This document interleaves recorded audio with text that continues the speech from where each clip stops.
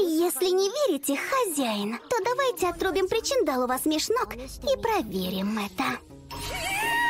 Не надо! Ничего мне там отрубать!